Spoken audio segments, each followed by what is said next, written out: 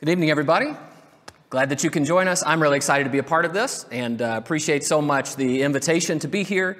And I appreciate that you guys are tuning in online and uh, able to be with us uh, as we look at some things from God's Word that I think will be really helpful and uh, some interesting things I think that, that really speak to us where we live.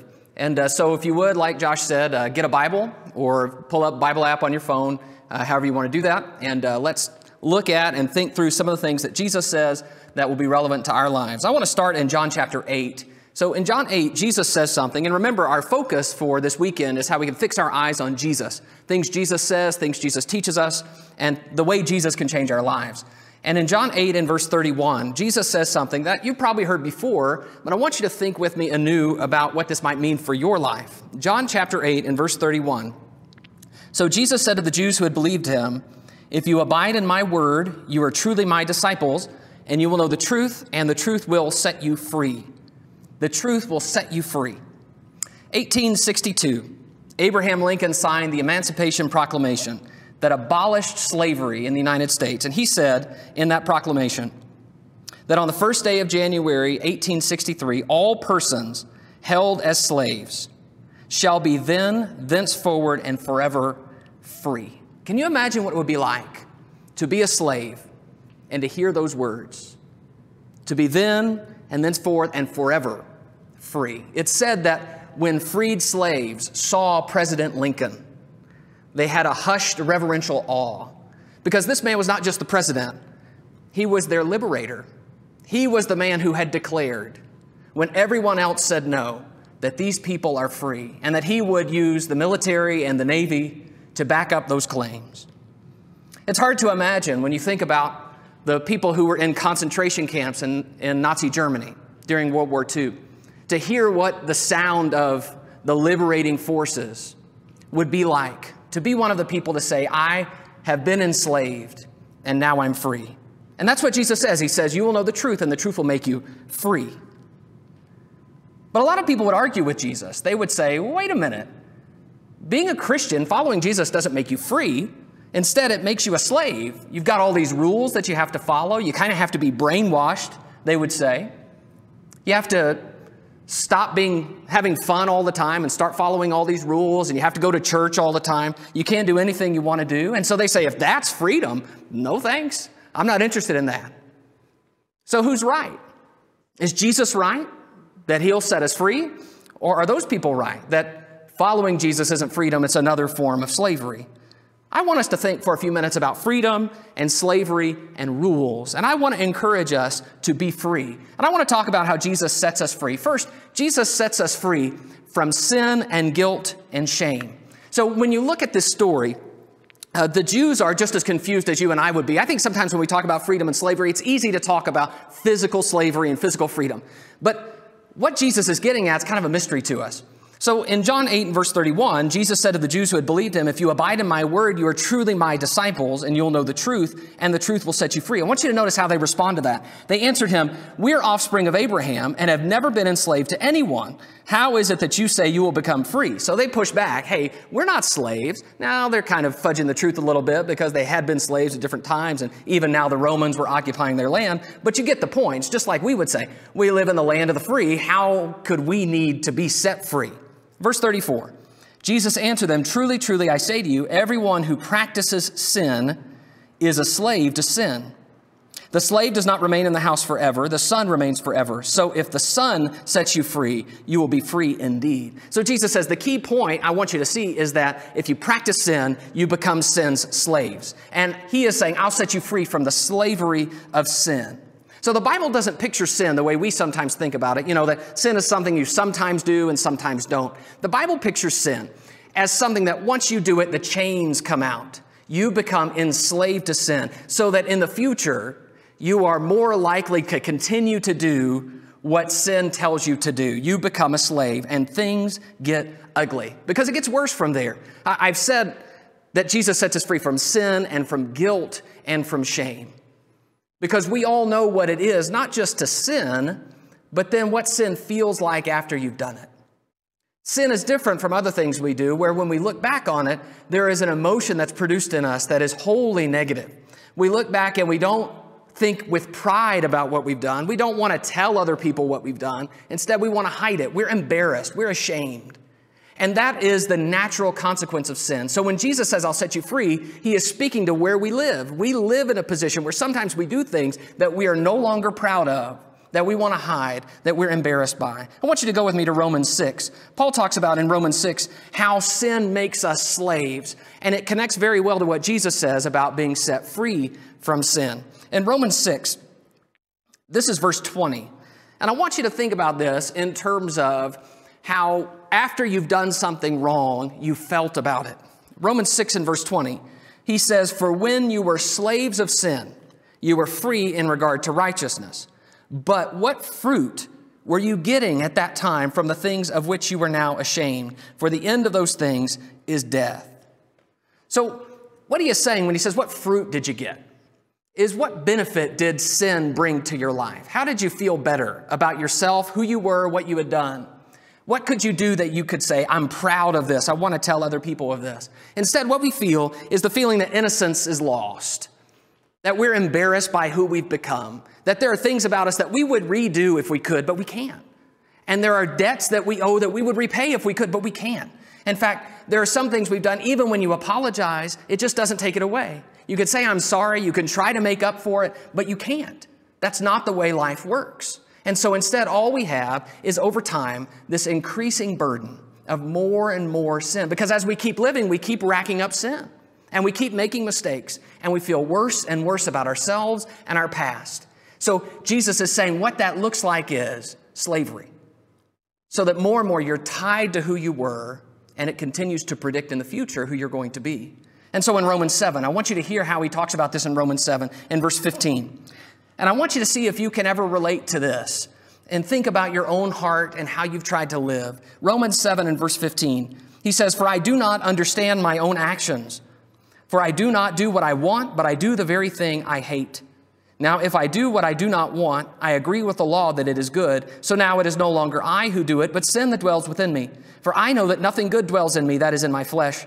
For I have the desire to do what's right, but not the ability to carry it out. For I do not I do not do the good I want, but the evil I do not want is what I keep on doing. Now, if I do what I do not want, is no longer I who do it, but sin that dwells within me. So I find it to be a law that when I want to do right, evil lies close at hand. For I delight in the law of God in my inner being, but I see in my members another law, waging war against the law of my mind and making me captive to the law of sin that dwells in my members. Wretched man that I am, who will deliver me from this body of death? I know a lot of that can be confusing about the specifics of, uh, I want to do this, but I don't. I do what I don't want. I want what I do want, and all that. Paul's point is he is describing the heart of a man addicted to sin. I want to do right. And there's a part of me that says, I, I prefer to do right. This is what my heart really wants. But then something else happens where I don't end up doing right. Instead, I end up doing wrong. And he says specifically, this is verse 18 I have the desire to do what's right, but not the ability to carry it out. So I, I no longer have free will. I've given that up. As I began to sin, sin has now taken me captive. And now I no longer have the ability to do those good things. I have to be set free.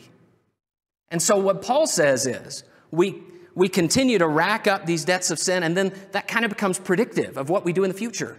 We continue to do, and then it gets worse and worse, and we go further and further down the rabbit hole. I suspect, I suspect that you guys know what I'm talking about when I say that. I suspect that each one of us has had our own little experience where we started to do things that were wrong and it just got worse and worse and worse. And it didn't get better, even though we wanted it to get better. It just didn't. I, I suspect maybe that you've dabbled in pornography and you found that pornography, it doesn't just let go. And it keeps pulling you in further and further down the rabbit hole. Or maybe you've done things, you've gone out with your friends, and you've done things that, that when you got back and the next morning you wake up, you say, I wish I hadn't done that. I regret that so deeply. And yet, the next time they call, there's an appeal there and a draw there, and maybe you go out and you do it again. I suspect we all know what it feels like to want to do right on the one hand, but also feel that strong pull to do what's wrong. And so, what Paul is saying is these are the words of someone who no longer has freedom Instead, we're bound up in what we've done, which in the past now begins to predict our future. Something has to stop this. And so he says, Who will deliver me from this body of death? And he comes to the cross. And he says in verse 25, Thanks be to God through Jesus Christ our Lord. Jesus says, I'll set you free. You'll know the truth, and the truth will make you free. This is what he means to be set free from sin and from guilt and from shame.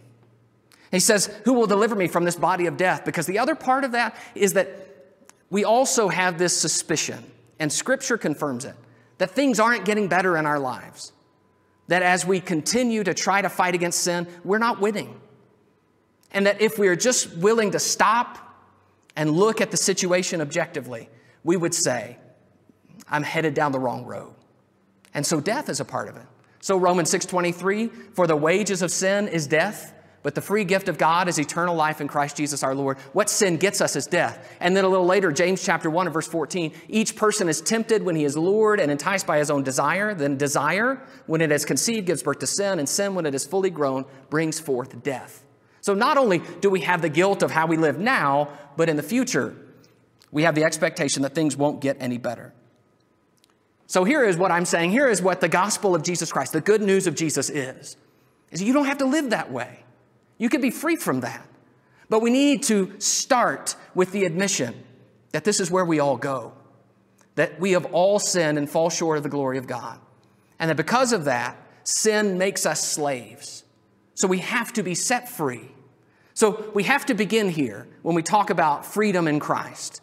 That freedom means we no longer have to live that life. Instead, we could be set free to do other things. But I want to point out another part of this. Jesus also sets us free from people's expectations. From people's expectations. See, we naturally tend to care a lot about what other people think. And maybe that's our friends. And we have certain friends that for some reason we, we like something about them, we, something about they, we want to be like them, whatever it may be. There are people who, whose respect we want.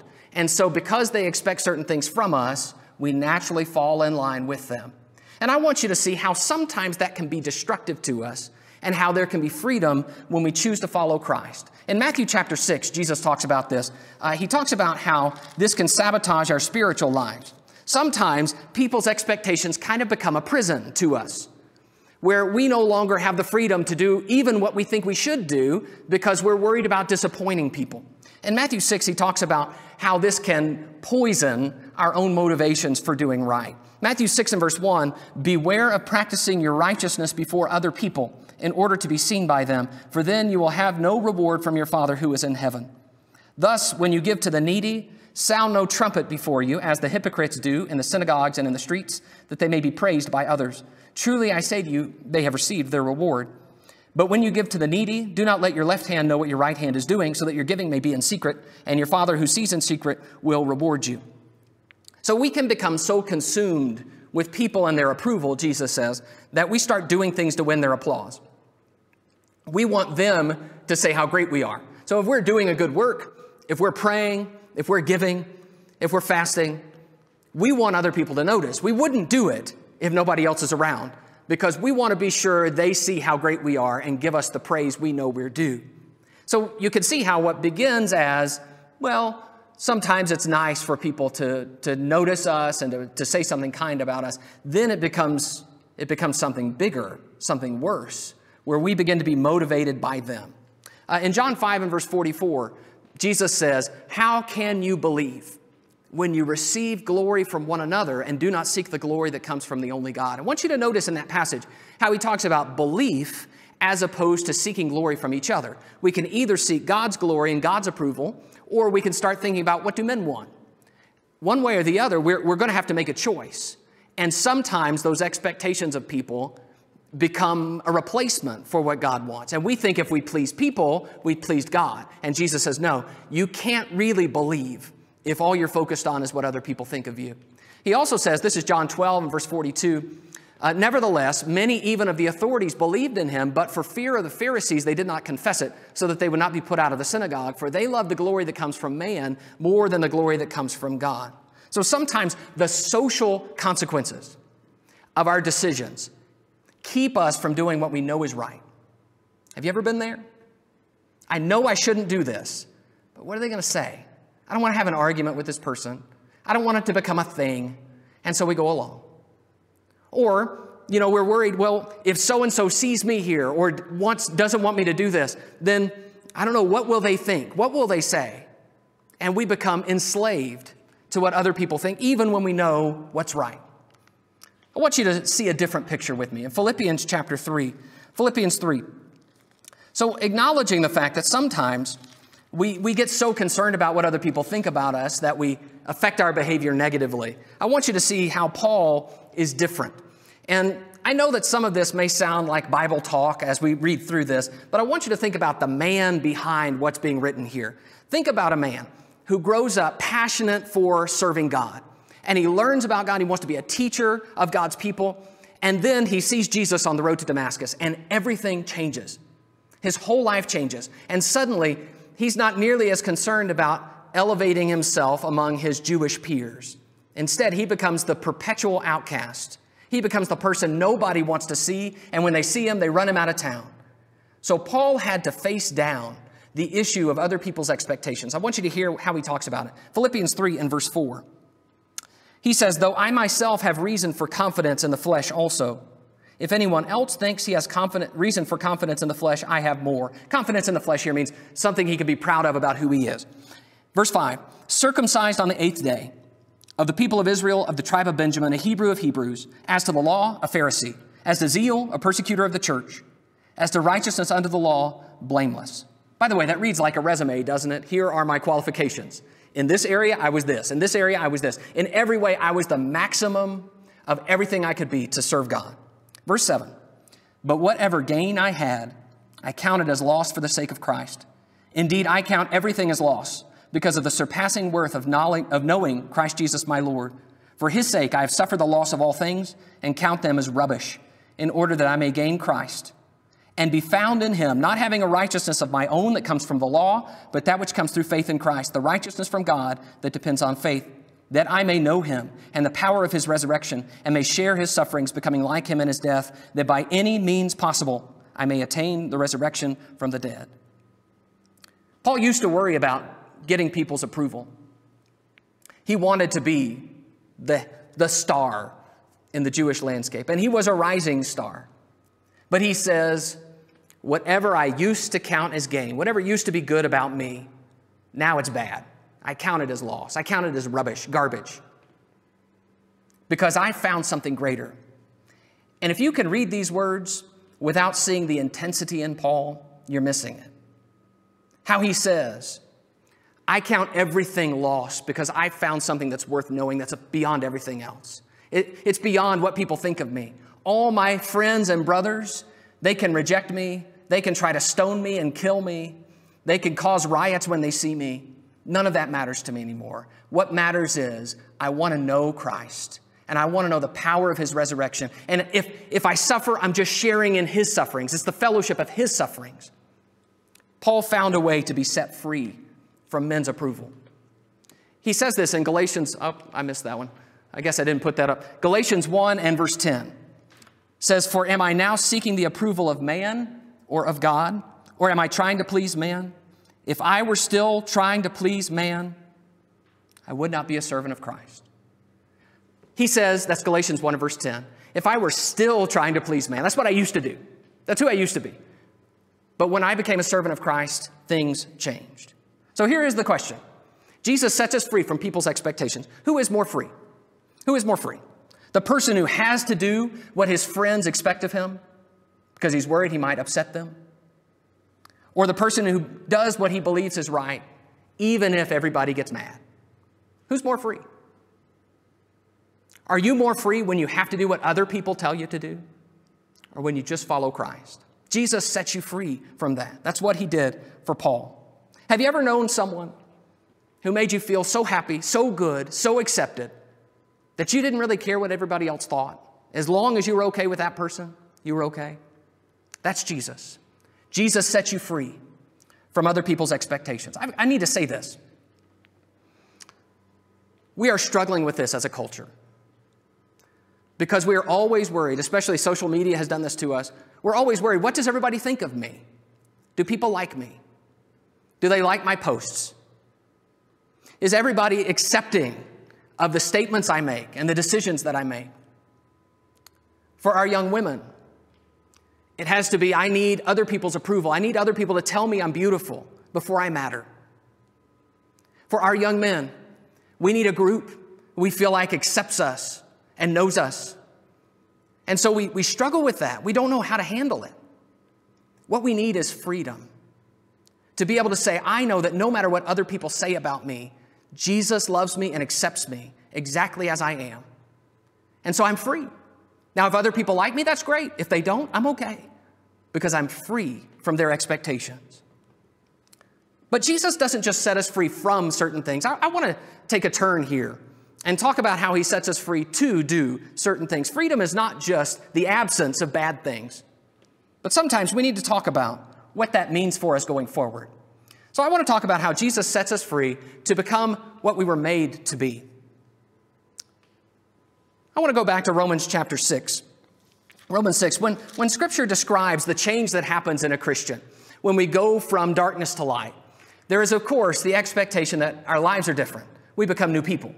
And I want you to see, though, how that creates a different kind of slavery along with a different kind of freedom.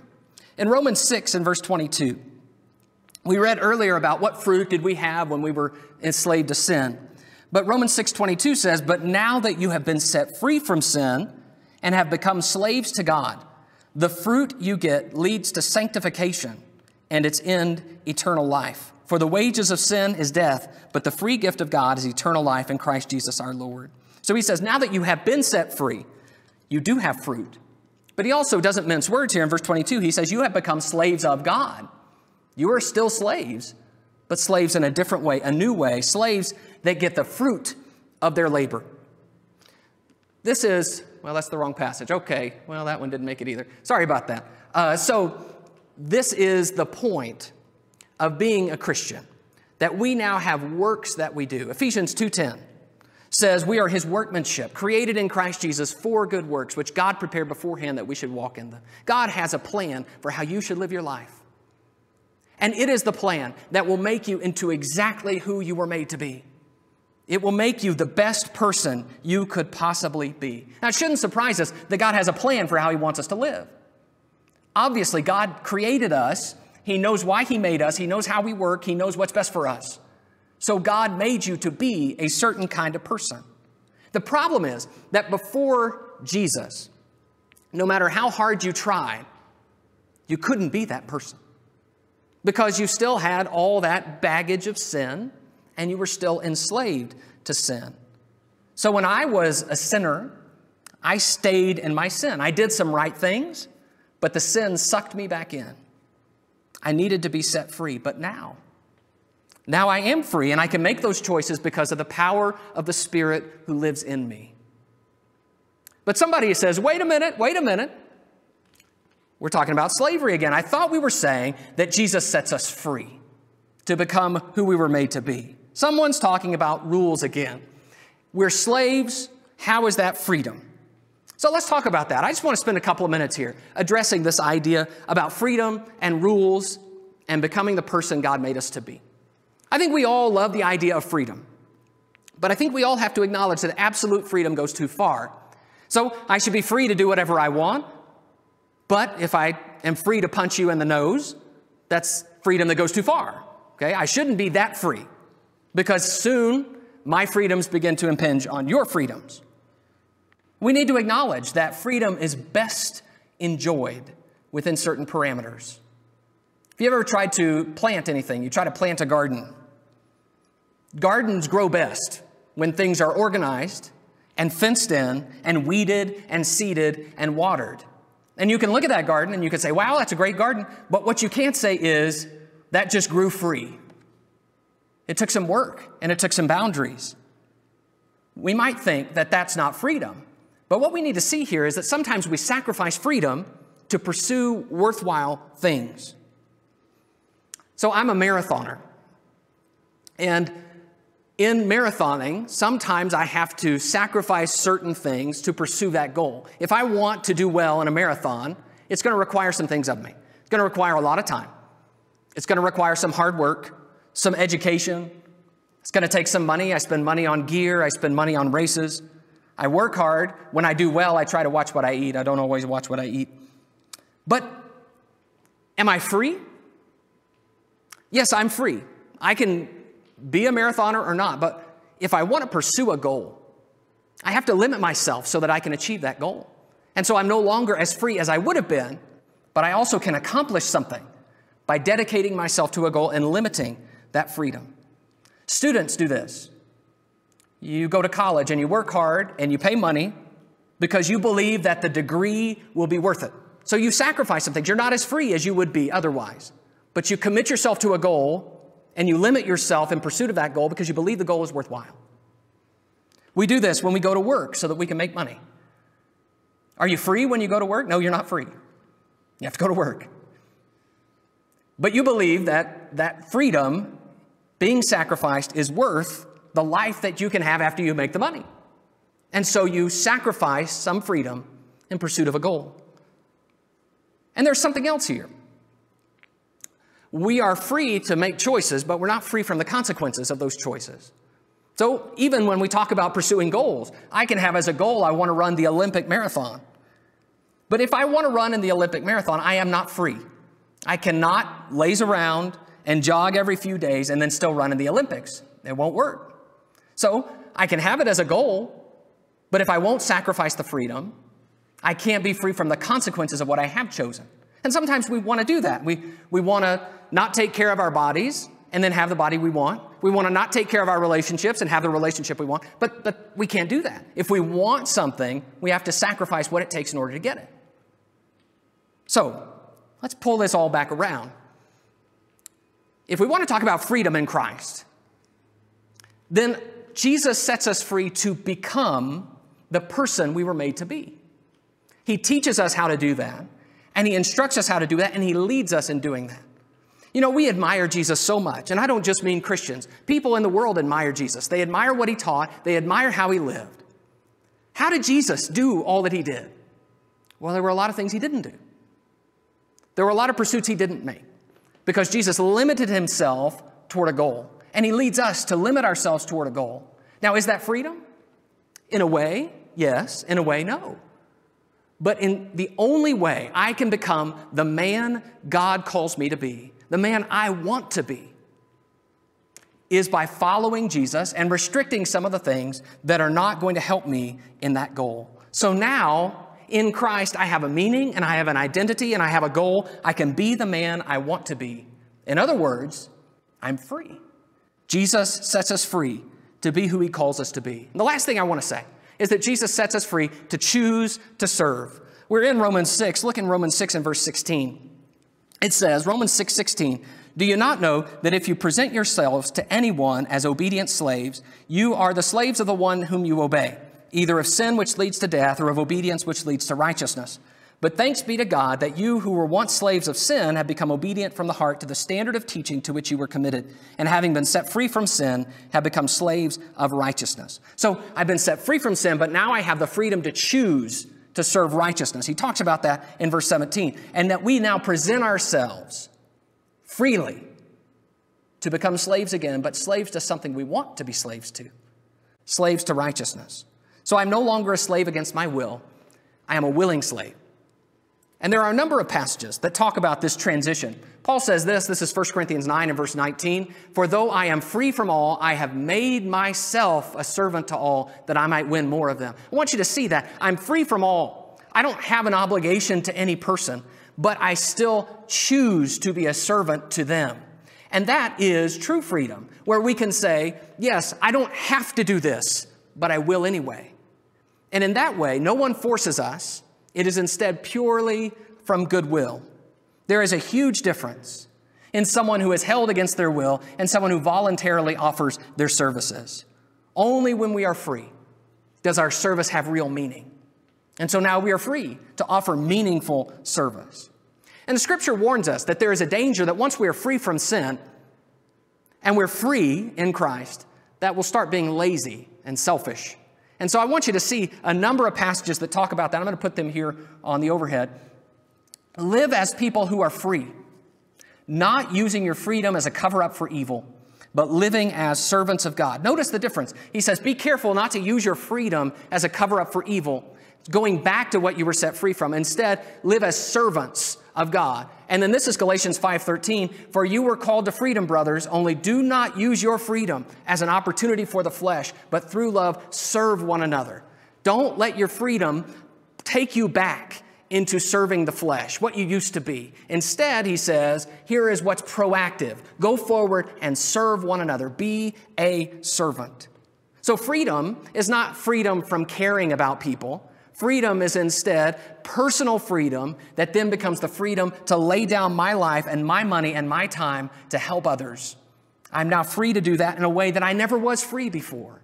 Before, it was always tainted by the fact that it was coming from a position of slavery to sin. Now, instead, I am free. The answer is service.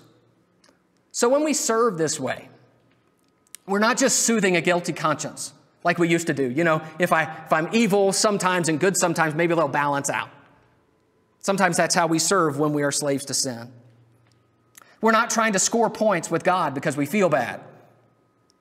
We're just trying to help others. And I want to encourage you there is a joy in doing good for others just because we can.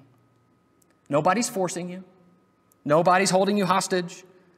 Nobody is telling you, we just expect this of you. You just do it to bless. We just do it to help. We just do it to spread good. We just do it to glorify God. So Jesus sets us free where our service really means something because it really does come from an uncoerced heart. It is just what we choose to do. So Jesus says, You'll know the truth, and the truth will set you free. I want to ask just one question before we close. That is, how did Jesus live that freedom? I want to remind you that Jesus never got wrapped up in sin. So it wasn't that Jesus worried about sin and guilt and shame, like we talked about earlier. And Jesus also didn't just act to please other people. He didn't flatter anybody, and he didn't accept flattery from anybody else.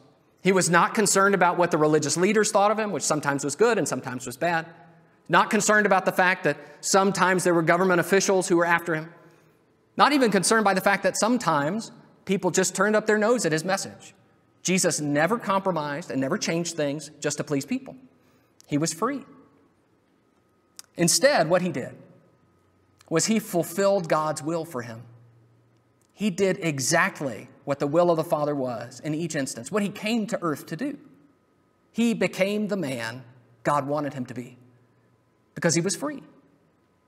And instead, what he did is he chose to serve. Jesus said, I didn't come to be served, but to serve, give my life as a ransom for many. So when Jesus came, it was not because other people needed to do for him, it was not because he felt guilty. It was instead something where he willingly said, I want to do this because I love you, because I care for you, and I want to bless you. So Jesus offers real freedom, not the easy answers, of getting to do whatever you feel like, even though there are terrible consequences for doing whatever we feel like. Jesus gives us a path toward fulfilling our purpose, toward forgiveness and peace and service. And then he says, hope of eternal life. So I urge you, be free. Follow Jesus and let him set you free. Thanks for your time.